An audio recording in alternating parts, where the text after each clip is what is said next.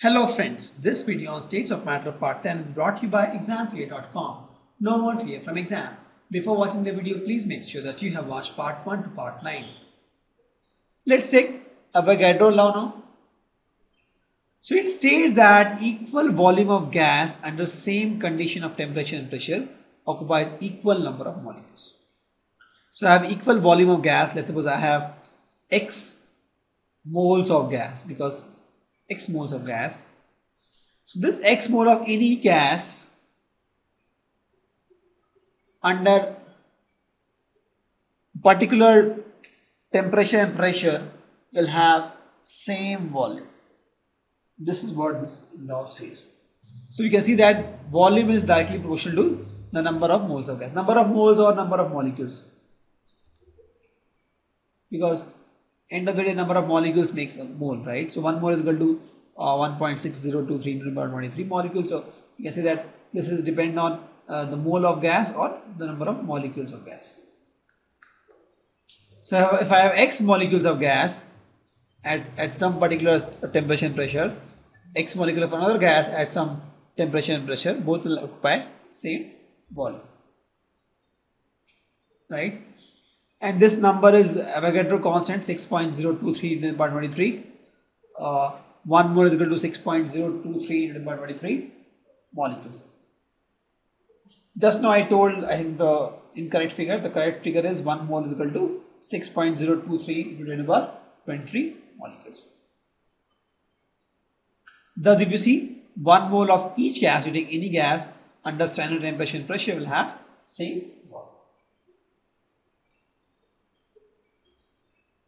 So at, at STP, at standard temperature pressure, the molar volume of ideal gas or combination of ideal gases 22.7 liter per mole. This is my uh, volume of ideal gas at STP. And STP means my 0 degree Celsius that is 273.15 Kelvin and 1 bar that is 10 to the power 5 Pascal pressure. A very good question that comes to our mind is why do we need standard pressure and temperature and why is this value only? See as I told that most of these for example in this case I told that at a specific temperature and pressure the volume of n molecule is x let's suppose or x molecule is some value b. Now the same condition and pressure instead of telling always that okay temperature is x degree Celsius and pressure is y degree uh, y pascals or y uh, atms or y bar we tell let's have a standard temperature and pressure just easy for con conveying stuff for example when I told STP I mean a temperature of 0 degree Celsius and pressure of 1 atmospheric pressure. Correct? That is what my STP means. Correct? Now, why it is 0 degree Celsius and 1 atmospheric pressure? It is because 1 atmospheric pressure is very easy to achieve. Just have something in a jar and open it up. Open it up. So the atmosphere itself will apply the pressure. So you don't need a special machine to get this 1 atmospheric pressure. So it is easy to achieve 1 atmospheric pressure. And 0 degree Celsius is also easy to achieve. So this, this temperature and this pressure is easy to achieve. If I give something like uh, uh, 100 atm as a standard pressure, it will be difficult to achieve because then all the labs around the world will should have special machines to get this type of pressure and it will be difficult to conduct experiments also. But conducting experiments openly in the air is very easy. So, and everywhere you go, at least in the earth, you'll get 1 atm pressure. Not in the mountains where the pressure goes down, but in the normal uh, condition, you get 1 atmospheric pressure. So, it is easy to achieve and this temperature also easy to achieve. That's why the, uh, the scientist community has decided, okay, let's take 0 degrees Celsius and 1 uh, bar pressure to be standard temperature and pressure. Let's have a logical uh, explanation of the Avogadro law. So if my n molecules of a gas, let's suppose gas A occupies this volume, my another n molecules will occupy this volume. So 2n will occupy double of the volume. If you take another n of some other gas also, it will occupy same volume. You take another n, it will occupy same volume.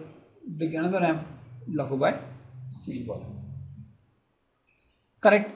So, if n occupies this much, 2n will occupy double of this, 3n triple of this, 4n 4 times of this, it goes on. And that's how uh, what the Avogadro's law says that in this case all gases I have taken same but I can have different gas actually. I should have taken different colors of gas actually here.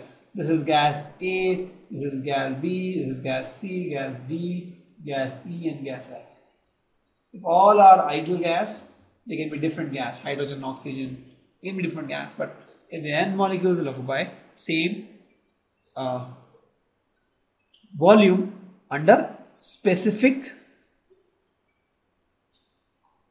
specific temperature and pressure. Okay? And that specific pressure and uh, temperature and pressure we take is standard temperature and pressure. But for any specific temperature and pressure it will occupy symbol. Let's do a lab for the Avogadro law. So for this what we can do is we can take three Coke bottles, three balloons, and one Mentos. So Avogadro law says that volume is directly proportional to n. Right? This is what we have seen. So what we will do here in this bottle, we'll arrange something like this. So in this bottle, let's suppose we have put uh, two Mentos. In this, we'll put five Mentos. In this, we'll put ten Mentos. Bottle one, bottle two, bottle three. 1, 2 and 3. In all these, we'll put balloons like this. Open the lid, put the balloons and then we'll shake it and we'll see that all this volume will, uh, balloon will expand. But if you see, this is let's suppose volume 1, this is volume 2 and this is volume 3. And if you have uh, measuring tape, something like this, the scales, measuring tape, you can measure the diameter of all these three balloons. You'll see that volume 1 is less than volume 2 and volume 3. So volume 3 is max, volume 2 is lesser, volume 1 is least. And if you see, the number of Mentos also is in the same fashion, 1, 2, 5 and 10. So what happens here is, the no, more number of Mentos you put, the more, you know, the, the ment reacts with coke, right? So the more reaction happens and the more number of uh, uh, moles of gas comes out here, right? So in this case, a lesser number of uh, moles of gas came out. Here more number of moles of gas came out. Here all the more number of moles of gas came out. So here n1 n2 n3 n3 is the biggest number. Because the more mentos you put in the coke the more reaction happens. So we must have seen the reactant product. So the one which is the lesser that determines the reaction. So coke we have in plenty but the mentos with mentos we control the reaction the lesser number of mentos you put the lesser reaction happens the more mentos you put the more reaction happens right? Hope you understand this. You have three bottles, you can take three bottles of Coke and put different number of Mentos and put the balloons, you'll see that the balloons expand uh, differently and you can relate the volume of the gas with the number of Mentos here. If you see, my here also N1, N2 and N3 will have this relation where N3 is greater than N2 and N2 is greater than N1. And similarly, if you see the volume will also have a similar relation. So with, that, we, with this experiment, we can conclude that whatever Avogadro is saying is correct. So here is the molar mass in liter per volume for some of the gases at standard temperature and pressure. Argon, this many liters, all are in liters per mole.